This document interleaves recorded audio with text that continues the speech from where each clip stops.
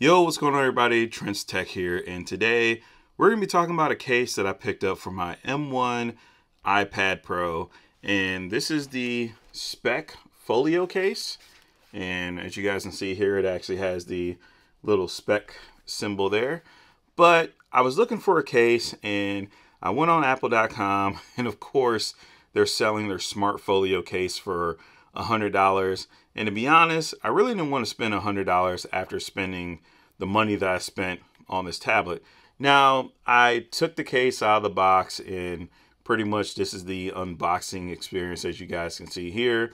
So basically you get your, you know, paper box, you can just pull this right out. But as you start to pull it out, there is like a little, you know, security tag or retaining clip. I don't know what you guys want to call it, plastic or whatever but you're just gonna have to break that and then this comes straight out and you can actually break it without damaging the box so for whatever reason if you had to return the case you can pretty much take it out pretty easily. And pretty much when you get this case outside of the box you can see easily here that pretty much this is how the case is going to look and on the inside of the case as you can see you do have your nice felt material you also do have little indents to where the, uh, the tablet can sit up on itself. And the other cool thing is you have this nice soft material and you have a hard plastic shell. So that, that should help reduce the impact of any drops or you know anything hitting the back of this. That way you don't damage the iPad. But it also has some flexibility and somewhat of a rigid shape to it so that's pretty cool. Like as soon as you put your tablet in here, it's going to go ahead and lock it in there and clasp it in there and it's going to hold on to it so you don't have to worry about it. Obviously, there's no, you know, smart connector on here, so you're not really going to, you know, do anything crazy with it, but it is a folio case designed to protect the iPad.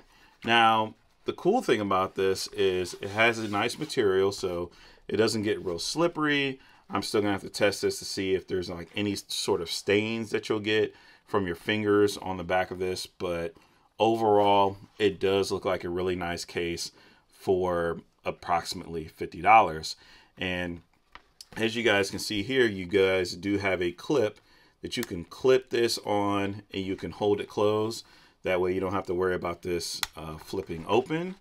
The other thing that's cool about this, and I tested it, is that you can put the iPad inside of the case and as soon as you close the case it will automatically shut off and then when you open the case it will automatically turn on.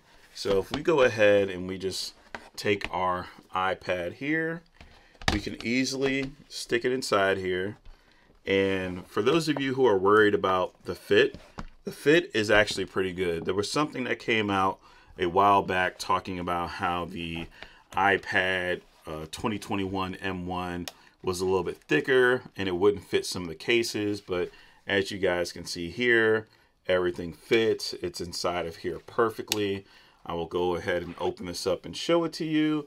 And everything on here is good to go.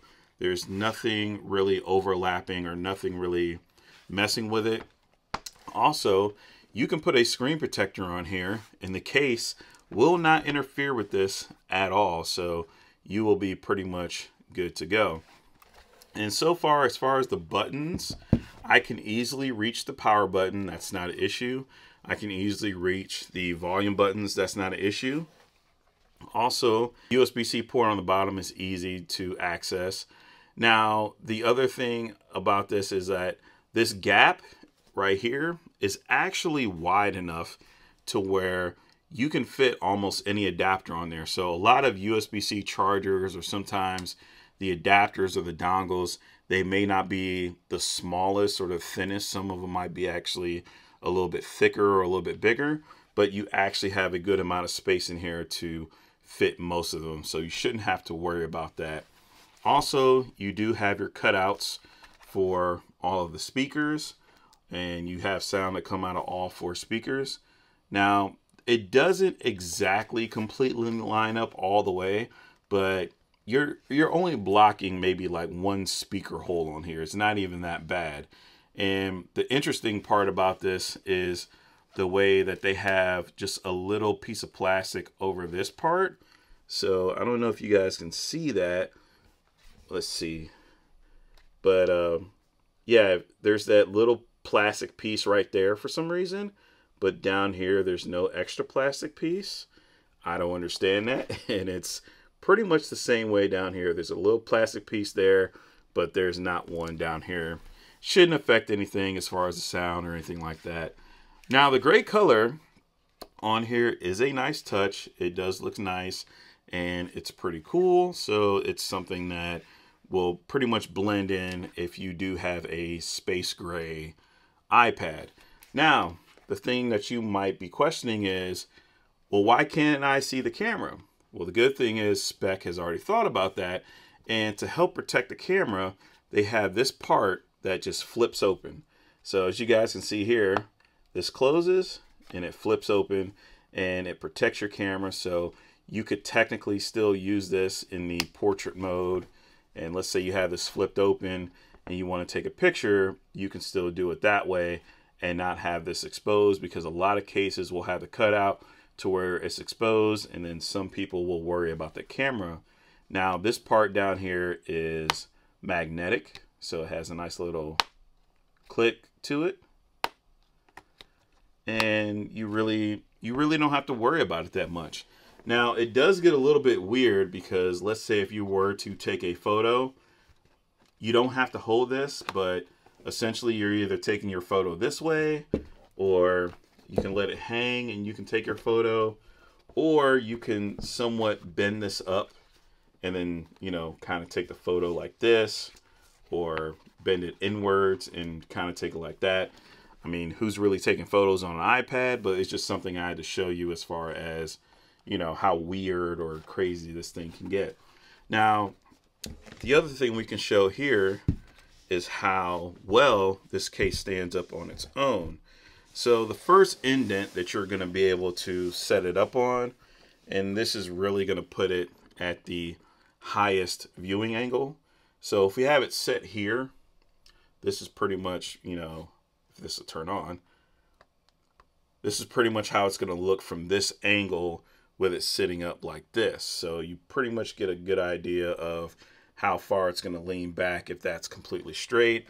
And then obviously you can take it and you can move it down each one of these little indents to lay it further and further back. And so that's about the furthest back it goes. That's almost at a 45 degree angle.